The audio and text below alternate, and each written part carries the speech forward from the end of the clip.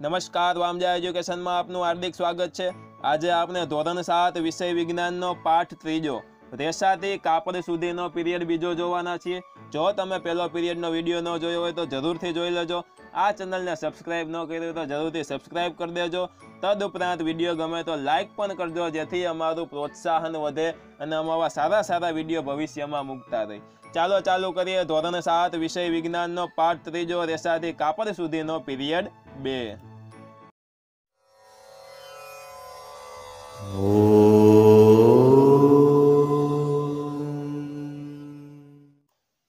પહોંચ્યા પ્રવૃત્તિ ત્રણ પોઈન્ટ ચાર. તમારા વર્ગના મિત્રો સાથે ચર્ચા કરો કે શું મનુષ્ય માટે ઘેટાઓને પાડવા અને પછી ઊન પ્રાપ્ત કરવા માટે તેના વાળને કાપીને ઉતારી લેવા યોગ્ય છે?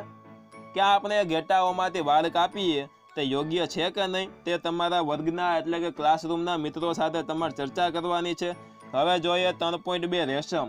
આપણે ઊન તો જોઈ લીધું કે ઊન કેવી રીતના મેળવવામાં આવે? હવે જોઈએ આપણે રેશમ, એટલે કે સિલ્ક. સિલ્કના રેસા પણ પ્રાણી જ રેસા છે, એટલે કે પ્રાણીમાંથી જ મેળવવામાં આવે છે. રેશમના કીડાઓ રેશમના રેસાનું નિર્માણ કરે છે. કેના કીડાઓ? તો કે રેશમ માટેના કીડાઓ હોય એ રેશમના રેસાઓનું નિર્માણ કરે છે. રેશમને પ્રાપ્ત કરવા માટે રેશમના કીડાઓનો ઉછેર કરવો, તેને સેરીકલ્ચર કહે છે. રેશમને પ્રાપ્ત કરવા માટે રેશમના કીડાનો ઉછેર કરવામાં આવે છે. આ ઉછેરને આપણે સેરીકલ્ચર કહીએ છીએ. તમારા માતૃશ્રી એટલે કે મમ્મી, કાકી કે દાદીમાને પૂછજો કે જુદા જુદા પ્રકારના રેશમ અને રેશમી સાડીઓ વિશે જાણકારી મેં આપશે તમને. જુદા જુદા પ્રકારના રેશમની યાદી બનાવો. રેશમના પણ અલગ અલગ પ્રકારો હોય છે. રેશમ મેળવવાની પદ્ધતિની ચર્ચા કરીએ તે અગાઉ. રેશમના કીડા ના જીવનચક્ર વિશે જાણવું રસપ્રદ બનશે. આપણે રેશમના કીડા કેવી રીતના તેમનો ઉછેર કરવામાં આવે છે, તે કેવી રીતના પેદા થાય છે, તેનું જીવનચક્ર શું છે, તે આપણે જાણી લઈએ. રેશમના કીડાની જીવન ગાથા માદા રેશમનો કીડો ઈંડા આપે છે. માદા રેશમનો કીડો હોય ઈંડા આપે છે અને ડીંભ નીકળે છે. જેને કેટરપિલર અથવા તો રેશમનો કીડો કહેવામાં આવે છે. ડીંભને કેટરપિલર કહીએ અથવા તો રેશમનો કીડો કહીએ છીએ. કેટરપિલર વૃદ્ધિ પામીને તેના જીવનચક્રની ત્યાર પછીની અવસ્થામાં આવશે અને તેને કોષિત અવસ્થા એટલે કે પ્યુપા કહેવામાં આવે છે. કેટરપિલર થોડોક મોટો થાય અને તેમના પછીની અવસ્થામાં આવે, કોષિત અવસ્થામાં આવે, જેને આપણે પ્યુપા કહીએ છીએ. તે પોતાની આસપાસ ઝાડુ રચે છે. જે તેને પકડી રાખવામાં મદદરૂપ થાય છે. તે આની આજુબાજુ ઝાડુ રચે, જેવી રીતના કરોડિયો રચે. એ ઝાડુ તેમને પકડી રાખવા માટે મદદરૂપ થાય છે. ત્યારબાદ તે પોતાના માથાને અંગ્રેજી આઠ, એટલે કે અંગ્રેજી અક્ષરમાં આઠ લખ્યા છે. એવી રીતના આકારમાં એક છેડેથી બીજા છેડા સુધી લઈ જાય છે. તે દરમિયાન કેટરપિલર પ્રોટીનના બનેલા તાંતણાઓનો સ્ત્રાવ કરે, કરતો જાય છે. કેના તો કે પ્રોટીનના બનેલા તાંતણાઓનો સ્ત્રાવ કરતો જાય છે, જે હવાના સંપર્કમાં આવતા રેશમનો તાર બને. એ જે પ્રોટીનના બનેલા તાંતણા એટલે કે દોરા હોય તેમનો સ્ત્રાવ કરે એટલે કે છૂટા કરતો જાય, તે હવાના સંપર્કમાં આવી અને રેશમના તાર બને છે. ઝડપથી કેટરપિલર આ રેશમના તાર વડે પોતાની જાતને ઢાંકી દે છે. આ કેટરપિલર હોય, આ રેશમના તાર વડે પોતાની આખી જાતને ઢાંકી દે છે. અને તે પ્યુપામાં રૂપાંતરિત પામે છે. શું બને? તો કે પ્યુપા બને છે. આ ઢાંકવા માટેના આવરણને કોસેટો કહેવામાં આવે છે. આ જે ઢાંકવા માટે રેશમનું જે આવરણ હોય, કેમાંથી બન્યું? તો કે પ્રોટીનના સ્ત્રાવમાંથી. જે હવાના સંપર્કમાં આવે પ્રોટીનનો સ્ત્રાવ, એમાંથી આપણને રેશમ મળે છે. અને આ રેશમના દોરા વડે એના શરીરને જે ઢાંકી દઈએ, તેમને આપણે કોસેટો કહીએ છીએ. પ્યુપાને હવે પછીનો વિકાસ આ કોશેટોમાંથી જ થાય છે. પ્યુપાનો હવે પછીનો જે વિકાસ હોય, એ કોસેટોની અંદર જ થાય છે અને પતંગિયામાં રૂપાંતર પામે છે અને છેલ્લે તે પતંગિયા બને છે. રેશમના તારનો ઉપયોગ રેશમના વસ્ત્રો બનાવવા માટે થાય છે. એમના તારનો એટલે કે દોરાનો ઉપયોગ આપણે રેશમના વસ્ત્રો બનાવવા માટે કરીએ છીએ. તમે કલ્પના કરી શકો છો કે રેશમનો નરમ તાંતણો સ્ટીલના તાર જેટલો મજબૂત હોય છે. આ રેશમનો જે નરમ, એટલે કે અડવો ગમે એવો તાતનો એટલે કે દોરો હોય તે સ્ટીલના તાર જેટલો પણ મજબૂત હોય છે. રેશમના કીડાના કોસેટોમાંથી રેશમના દોરા મેળવવામાં આવે છે. રેશમના કીડાના જે કોસેટો હોય, કોસેટો કોને કહેવામાં આવે? તો કે તેમના શરીરમાં જે રેશમના તાર દોરા વડે ઢાંકી દે એમને કોસેટો કહેવામાં આવે છે. રેશમના કીડાના કોસેટોમાંથી રેશમના દોરા મેળવવામાં આવે છે. રેશમના કીડાઓના ઘણા પ્રકારો છે. જેઓ એકબીજા કરતાં જુદા તરી આવે છે. રેશમના કીડાઓના કેટલા બધા પ્રકાર છે અને બધા કીડાઓમાંથી અલગ અલગ જાતનું રેશમ પ્રાપ્ત થાય છે. એકબીજા કરતાં જુદા તરી આવે છે અને તેમના વડે મળતા રેશમના તાર, એટલે કે પોત, એટલે કે સ્ટ્રક્ચર તે બરછટપણા, લીસાપણા, તેમજ ચમક વગેરેમાં જુદા હોય છે. અમુક તાર બરછટ હોય અમુક એકદમ લીસા હોય તો અમુક વધારે પડતા ચમકીલા ચમક ધરાવતા હોય કે જે જોવા ગમે. જુદા જુદા હોય છે. આમ, tussar silk, muga silk, kosa silk વગેરે જુદા જુદા પ્રકારના રેશમના કીડાઓમાંથી રેશમના તાર વડે મેળવાય છે. સૌથી સામાન્ય રેશમનો કીડો એ મલબેરી રેશમનો કીડો છે. કેવો? તો કે મલબેરી રેશમનો કીડો છે. આ કીડાના કોસેટોમાંથી મળતો રેશમનો તાર મુલાયમ, ચમકદાર અને લચકપણું ધરાવે છે. આ મલબેરી રેશમના કીડામાંથી કેવો તાર મળે? તો કે મુલાયમ તાર મળે, ચમકદાર તાર મળે અને લચકપણું ધરાવતો તાર મળે છે. અને તેને જુદા જુદા રંગોમાં રંગી પણ શકાય છે, રંગી અને દેખાવમાં આકર્ષિત બનાવી પણ શકાય છે. રેશમના કીડાઓનું પાલન અને ઉછેર એ ભારતનો અતિ પ્રાચીન વ્યવસાય છે. ભારતનો અતિ પ્રાચીન એટલે કે બહુ જૂનો વ્યવસાય છે કે રેશમના કીડાઓનું પાલન કરવું, ઉછેર કરવું અને તેમાંથી રેશમ પ્રાપ્ત કરવું. વ્યાપારી ધોરણે ભારત બહોળા પ્રમાણમાં રેશમનું ઉત્પાદન કરે છે એટલે કે વધારે પ્રમાણમાં રેશમ પ્રાપ્ત કરે છે, ઉત્પાદન કરે છે એટલે કે બનાવે છે. આપણે આ રેશમના કીડાની જીવનગાથા આકૃતિમાં સમજી લઈએ. આ આ નર છે જ્યારે આ માદા છે. શેતુરના પાંદડા ઉપર તે ઈંડા મૂકે છે. રેશમના કીડા ક્યાં ઈંડા મૂકે? તો કે શેતુરના પાંદડા ઉપર ઈંડા મૂકે છે. ત્યારબાદ રેશમનો કીડો એમાંથી જન્મ પામે છે અને તેની આજુબાજુ પ્રોટીનનો સ્ત્રાવ કરી અને ઓક્સિજનના સંપર્કમાં આવે અને રેશમ જે બને એની વચ્ચે ઢકાઈ જાય અને કોસેટો કે એ આવ્યું કે રેશમની વચ્ચે તે ઢકાઈ ગયો છે અને પછી તેમનો ઉછેર આમની અંદર જ થાય છે અને કોસેટો એટલે કે રેશમ છે નીચે આ બધું. અને તેમની વચ્ચે વિકસિત થતો આ કીડો છે.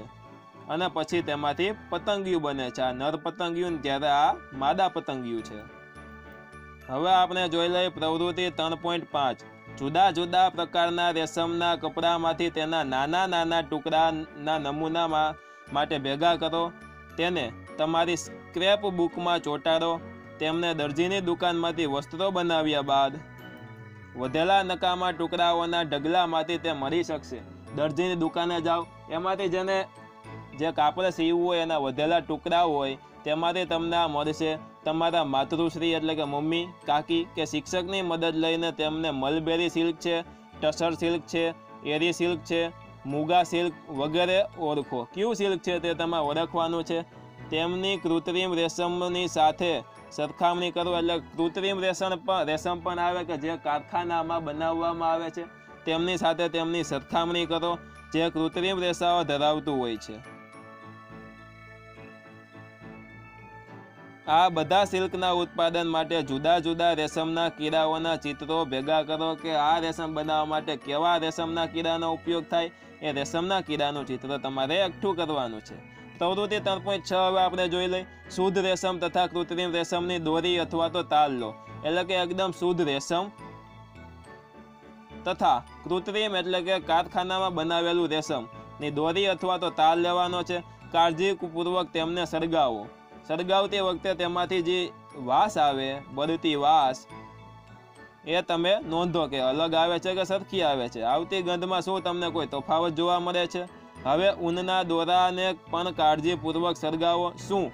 તેની ગંધ શુદ્ધ રેશમ જેવી છે કે કૃત્રિમ રેશમ જેવી છે? તમે શા, આમ શા માટે થાય છે તે સમ- સમજાવી શકશો? આ અલગ અલગ ગંધ કેવી રીતના આવે છે તે તમે સમજાવી શકશો? રેશમના કીડાના જીવનચક્રમાં કોસેટોની અવસ્થા ક્યારે આવે છે તે જાણવા માટે આપણે નીચેની પ્રવૃત્તિ કરીએ કે કોસેટોની અવસ્થા ક્યારે આવે? તે આપ તેના માટે આપણે પ્રવૃત્તિ કરીએ. આકૃતિ ત્રણ પોઈન્ટ નવની ફોટોકોપી એટલે કે ઝેરોક્સ લો. આમાં આકૃતિ ત્રણ પોઈન્ટ નવ આપી છે. આ છે આકૃતિ ત્રણ પોઈન્ટ નવ. આની ફોટોકોપી અથવા તો ઝેરોક્સ લેવાની છે. રેશમના કીડાના જીવનચક્રના તબક્કાઓના ચિત્રો સા, ચિત્રોને સાચવીને કાપી લો. એટલે કે આ તેમનું જીવનચક્ર છે, તેમના ચિત્રોને સાચવી અને કાપો. તેને કાર્ડ પેપર કે ચાર્ટ પેપર પર ચોંટાડો. ત્યારબાદ તેમને એકબીજામાં ભેળવી દો અને તેમને જીવનચક્રના સાચા ક્રમમાં ગોઠવવાનો પ્રયત્ન કરો કે પહેલાં પતંગિયા હોય, નર અને માદા પતંગિયું, એમાંથી તે શેતુરના પાંદડા ઉપર ઈંડા આપે, એમાંથી ઈયળ જેવું પ્રાપ્ત થાય. આ ઈયળ એની આજુબાજુ પ્રોટીનનો સ્ત્રાવ કરીને પ્રોટીન હવાના સંપર્કમાં આવે, એમાંથી રેશમ બને. એ રેશમની વચારે ઢંકાઈ જાય. આ આખું ઢંકાઈ ગયેલો ભાગ હોય તેમને કોસેટો કહેવામાં આવે અને આ કોસેટોમાં તેમનો બાકીનો વિકાસ થાય અને તેમાંથી પતંગિયું બને. તે તમારે વ્યવસ્થિત હું બોલ્યો એમ ક્રમમાં ગોઠવવાનું છે. તમે તમારા શબ્દોમાં રેશમના કીડાના જીવનચક્રનું વર્ણન પણ કરી શકો છો અને તમારી સ્ક્રેપબુકમાં લખો. આપણી સ્વાધ્યાય પોથીમાં મોટો પ્રશ્ન આપ્યો છે ચાર માર્કનો અને આ ઝાઝા ભાગે પૂછાય જ છે એવો પ્રશ્ન છે. એનું પેપર પણ મેં આ યુટ્યુબ ચેનલમાં આપેલું છે. ધોરણ સાતનું વિજ્ઞાનનું એક પેપર જોજો, અઠવાડિક પરીક્ષા બે હજાર અઢારનું પેપર, જેમાં આ પ્રશ્ન પૂછાયેલો છે. કોસેટોમાંથી રેશમ સુધી. હવે આપણે જોવાનું છે કે કોસેટો હોય એમાંથી રેશમ કેવી રીતના મળે. રેશમ મેળવવા માટે રેશમના કીડાનો ઉછેર કરવામાં આવે છે. તેમના કોસેટોને ભેગા કરીને રેશમના તાર મેળવવામાં આવે છે. રેશમના કીડાનું પાલન. કોઈ પણ માદા રેશમનો કીડો એક જ વારમાં એક જ ઈંડું આપે છે. એક જ નહીં, સોરી, અનેક ઈંડા આપે છે. માદા રેશમનો કીડો હોય. એક વારમાં કેટલા બધા ઈંડા આપે છે? જે આપણે શેતુરના પાંદડા ઉપર ઈંડાનું ચિત્ર જોયું હતું. આ ઈંડાઓને સાવધાનીથી કપડાની પટ્ટીઓ અથવા તો કાગળ પર સંગ્રહ કરીને રેશમના કીડા પાડનારને વેચવામાં આવે છે. તેમનો કાપડ ઉપર કે કાગળ ઉપર સંગ્રહ કરી અને રેશમના કીડા પાડવાવાળાને વેચવામાં આવે છે.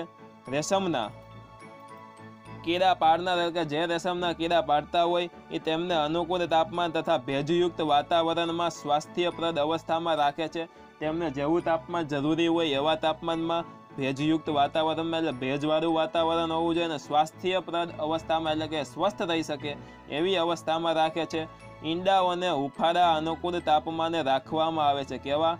તો કે ઉફાળા અનુકૂળ તાપમાન થોડા ગરમ તાપમાનમાં રાખવામાં આવે છે. કે જેમાંથી ડીંભ બહાર નીકળી આવે એટલે કે ઈયળ જેવો ભાગ બહાર નીકળી આવે. આવું ત્યારે જ કરવામાં આવે છે કે જ્યારે શેતુરના ઝાડ પર નવા પાંદડા આવતા હોય. શેતુરના ઝાડવા ઉપર જ્યારે નવા નવા પાંદડાઓ આવતા હોય ત્યારે આવું કરવામાં આવે છે. આકૃતિ ત્રણ પોઈન્ટ દસ બી માં દર્શાવ્યું છે. બે આકૃતિ પણ હમણાં આપણે જોઈએ. ડીંભ જેમને રેશમના કીડા કે કેટરપિલર એટલે કે ઈયળ કહે છે.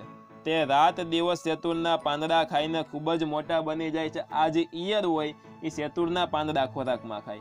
અને આ શેતુરના પાંદડા જેમ ખાતા જાય, એમ તે ખૂબ મોટા બને. જેટલું પાંદડું ખાય, એટલી તેમની લંબાઈ વધે અને એટલા તે મોટા થાય.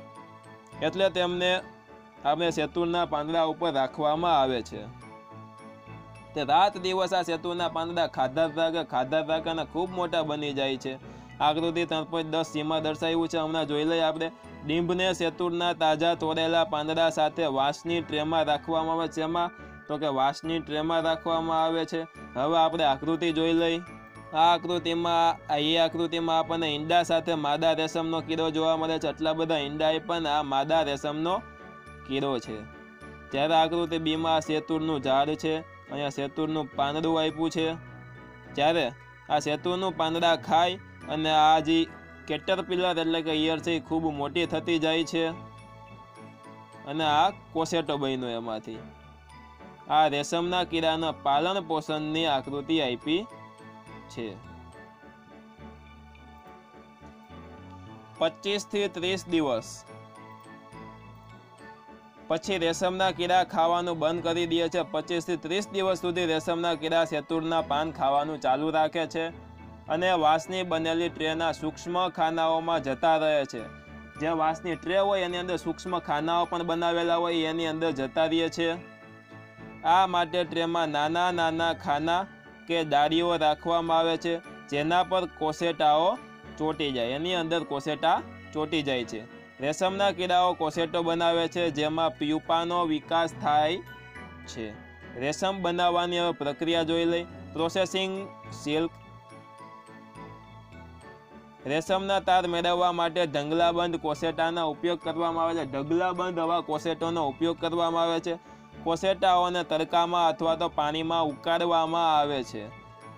આ ક્રિયામાં રેશમના તાર અલગ પડી જાય છે. આ જે કોસેટાઓ હોય એને ગરમ પાણીમાં કે તડકામાં ઉકાળવામાં આવે છે, ગરમ કરવામાં આવે છે. આ પ્રક્રિયામાં રેશમના તાર હોય છે એ અલગ પડી જાય છે. રેશમના સ્વરૂપમાં ઉપયોગ કરવા માટે કોસેટાઓમાંથી રેશમના